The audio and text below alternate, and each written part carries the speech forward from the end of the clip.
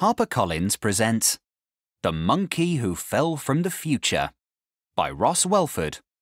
Read by Elliot Fitzpatrick and Kate Louise Okello.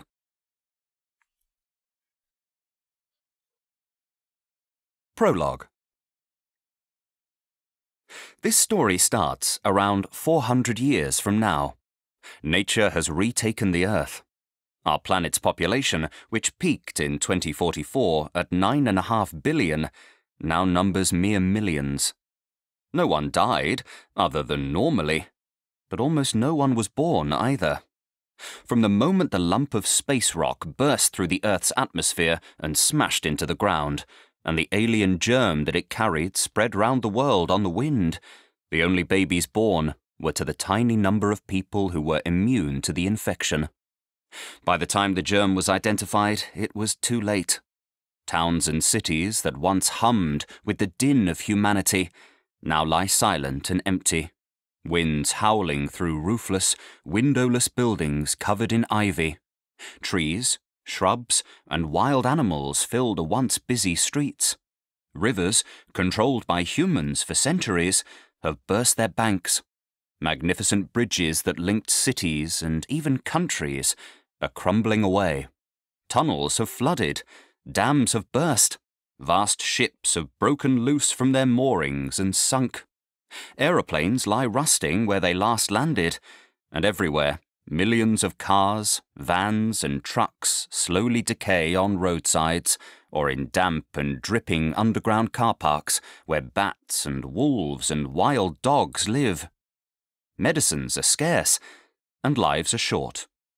Hospitals, schools, libraries, shopping malls, offices, airports, and railway stations all have been smothered by the unstoppable regrowth of nature.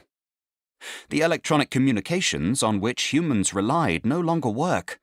Computer memories deteriorated long ago. Electricity is rare.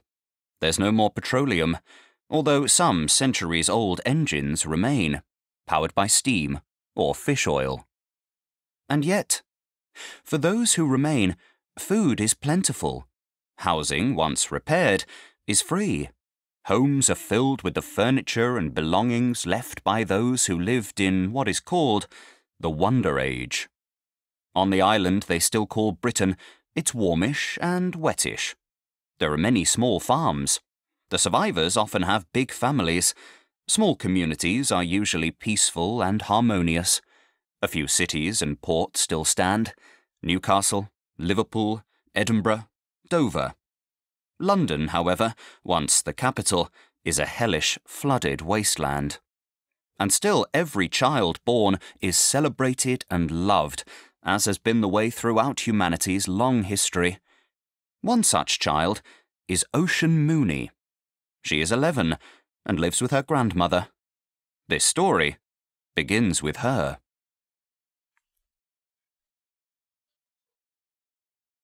Part 1 Ocean Mooney's Story Newcastle, England, AD 2425.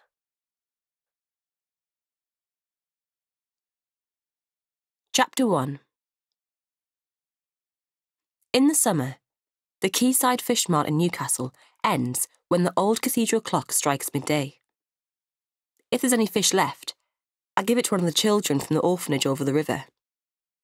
Nanny Moo does not mind.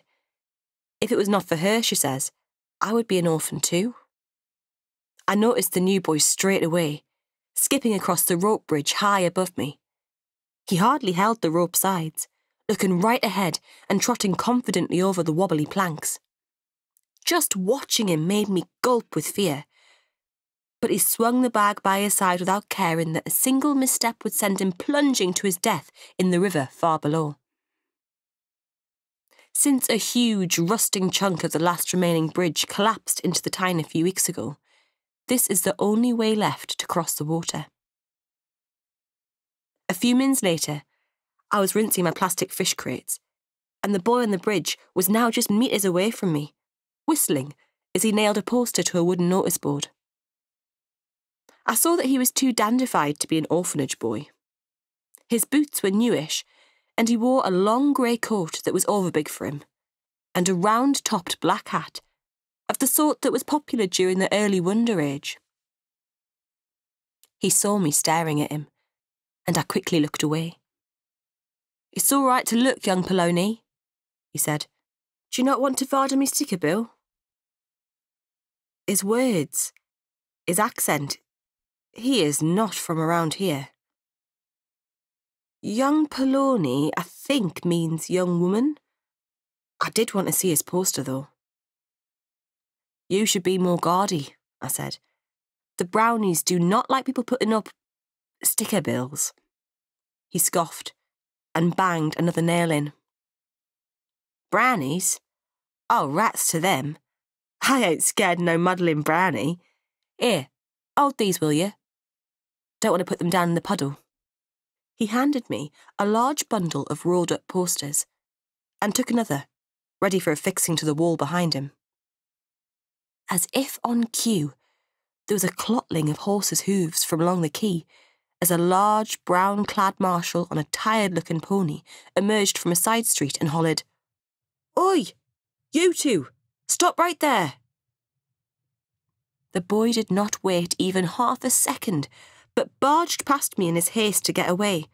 Then he turned and grabbed my arm. Come on, he means you as well.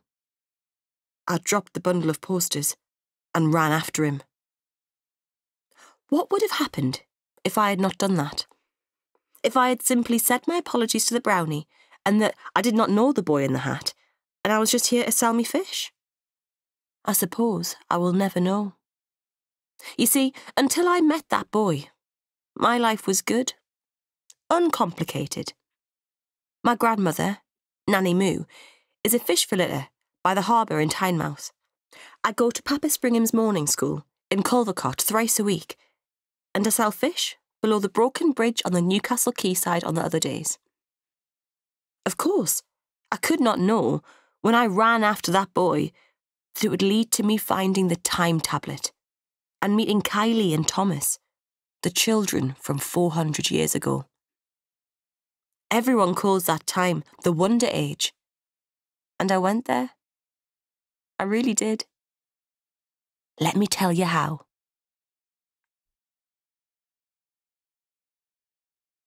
Chapter 2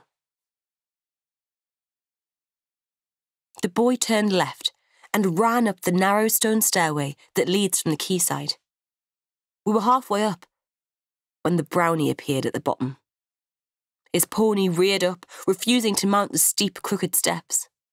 The boy, seeing this, let out a whoop, then bent down to show his bottom to the brownie before taking the rest of the steps two at a time. The marshal did not come after us. Instead, he yelled, You'd better watch out, you cheeky wee varmint. At the top of the steps, the boy turned and fell to the ground, laughing and holding his sides. I was still peeping scaredly round the wall. Don't vex yourself, he said, after he got his breath back. What are they going to do if they catch you? Beat me? And you? He waved his hand don't carily as if a beating from a brownie was no big deal. I said, It may be nowt to you, but I sell fish down there. He may recognise me. You. you are reckless. No, I ain't reckless. He leapt to his feet in a single fluid motion, then went rat a tat tat with his clumpy boots on the ground. He swept his coat to one side as he bowed low, tipping the hat forward from his head. It rolled over on his forearm. He caught it in his hand and replaced it on his haystack of spiky blonde hair. I'm Deucalion Smiff, better known among me more intimate acquaintances as Duke. Pleased to meet you. One of his eyes was dull and motionless, with an old swelled up scar beneath it. The other was such a bright blue that it seemed to sparkle to make up for its companion's lifelessness. He held out his bony hand for me to shake, and when I took it, he pulled me to my feet. What's your name? Ocean. Ocean Mooney. He looked me up and down, as though working out whether to trust me. I do not know if he liked what he saw. a smallish girl with freckles and pigtails, in an oversized patched smock and red welly boots. I suppose he did, because after a moment he said, Come on then, Ocean Mooney.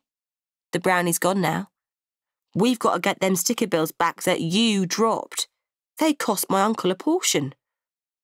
I stood before the poster that this strange lad had nailed up. Monsieur Mustapha B. Lumiere and the Caravan of Astonishments presents a rare trip back in time, a lecture and demonstration, including a full length film in colour. Star Wars. Experience the Wonder Age in style and comfort. Tynemouth Fish Fair, Salutation Hall, Front Street, 11am, 3pm, and 6pm. Admission two crowns, cash only, no barter. Ever seen a film before? said Duke. You know, a proper movie. I shook my head. I knew what they were, of course. In the Wonder Age, they were everywhere. On people's televisions, on their cell phones and tablets and computers. Fantastic stories with music and special effects, which made things that were not real look as real as if you were standing next to them. That's a true story, that is, said Duke, pointing at the title Star Wars. What? Was it not just made up? I said. Course not.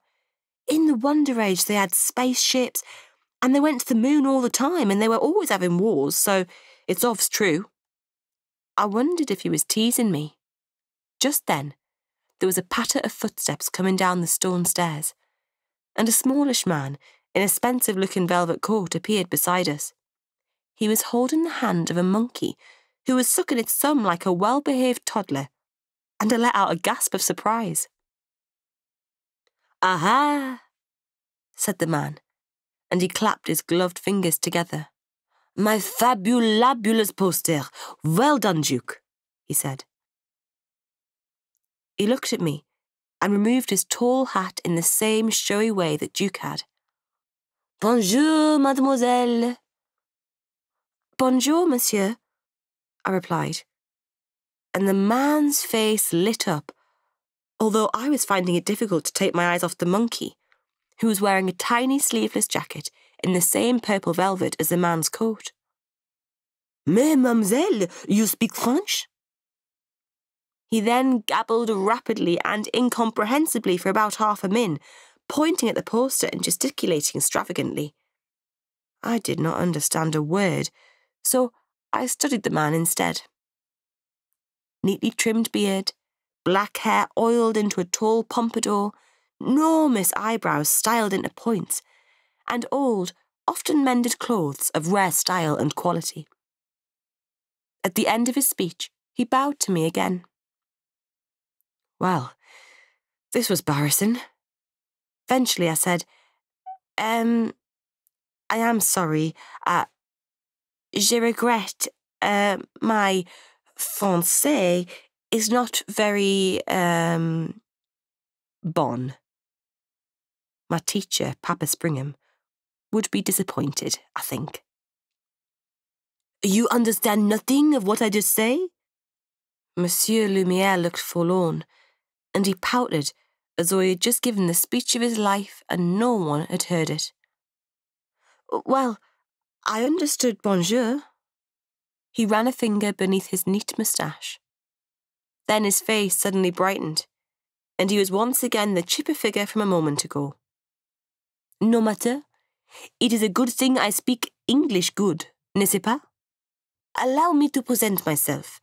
I am Mustapha B. Lumiere, the Mustapha B. Lumiere.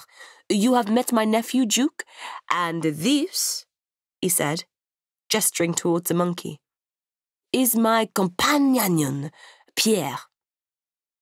The monkey bowed, just as his master had done a moment ago, making me giggle. Monsieur Lumiere jerked a thumb at the poster. You have heard of me? he said, his dense eyebrows waggling hard. I have now, I replied, diplomatically. Ah, marvellous! And you are coming to my show, I expect. I have never met anyone who is not incredified, transformixed, and, uh, how you say, smacked in the gob by the unbeliever bubble show I present. I would love to come. We hope you enjoyed this preview. To continue listening to this audiobook on Google Play Books, use the link in the video description.